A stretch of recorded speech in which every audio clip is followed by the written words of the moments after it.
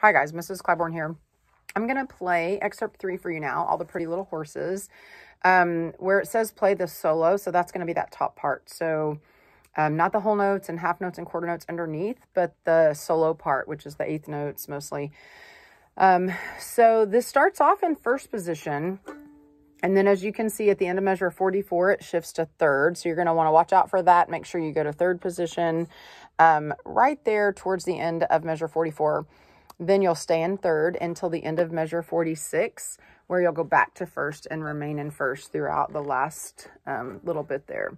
So lots of slurs and some double up bowings. Not anything too difficult, and it's not super fast. So I'm going to play it um, a little bit slower today for you, okay?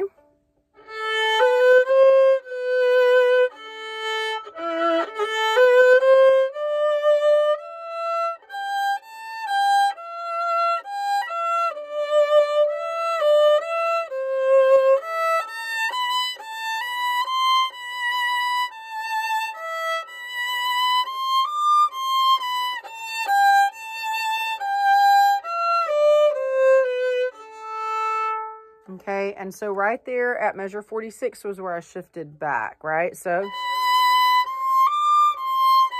back to first position.